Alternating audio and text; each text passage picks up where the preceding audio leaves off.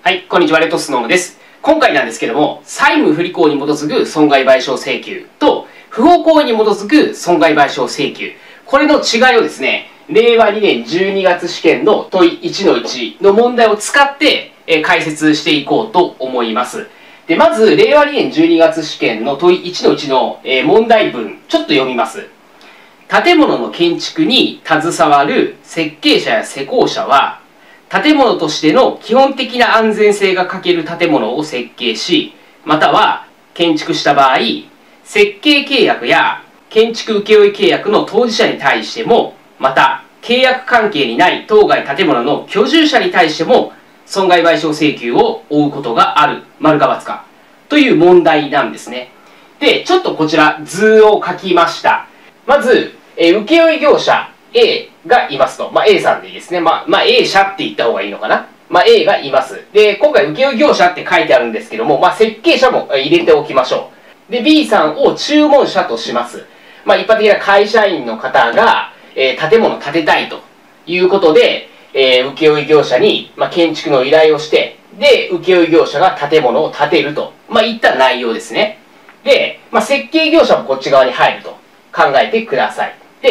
ここの注文者と請負業者、ここは契約ありますよね。請負契約。また、今回の問題文で言うと、設計契約かな。設計契約を結んでますということで、ここは契約関係があるんです。で、一方で、この B さんが、えーこの建物を、建てた建物を C さんに貸しました。すると、ここでは賃貸借契約が結ばれてますが、この請負業者 A と C、ここの間では契約関係はないんですね。まず、これ一つ目の、えーキーポイントとなってきますので、ちょっと頭に入れといてください。AB 間では契約はある。でも AC 間では契約はない。ここですね。ここ頭に入れておいてください。で、まあ C さんは借り主、建物の借り主であり、居住者だということですね。で、この建物に欠陥があったと。で、まあ、その結果、B さん、C さんに損害が、え生じてしまった。損害が発生してしまった場合、B、C っていうのは損害賠償請求できますかというところが問題文の内容になっているわけなんですね。まあ、今回損害賠償請求ができるとは書いてなくて、え損害賠償責任をこの A さん負うことがある。丸か×かという内容なんですね。で、まず債務不履行に基づく損害賠償請求、どんな場合にできるかというと、まず契約関係にあるということが大前提なんですね。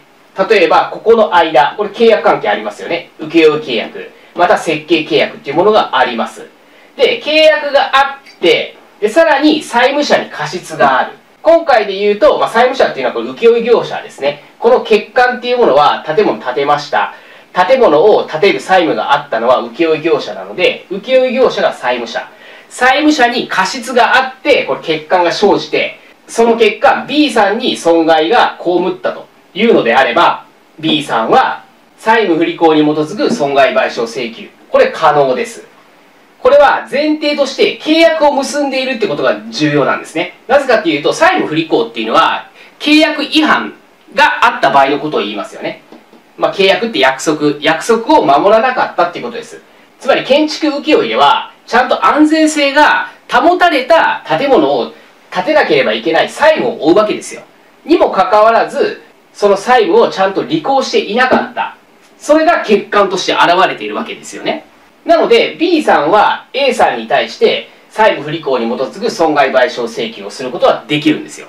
じゃあ C さんはっていうと AC 間で契約というものは結んでいないので C さんが A さんに対して債務不履行に基づく損害賠償請求はできないんですね。なぜかというと契約をしてないから。だから債務不履行ってないんですよ。AC 間で言うと。だから C さんは A さんに対して債務不履行に基づく損害賠償請求はできません。じゃあもう一つですね。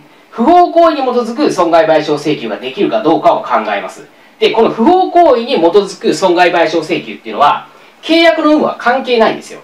契約の有無は関係なくて、故意または過失によって、まあ、他人の権利を侵害した場合、そういった場合に不法行為に基づく、えー損害賠償責任を負うわけなので、契約は関係ないんですね。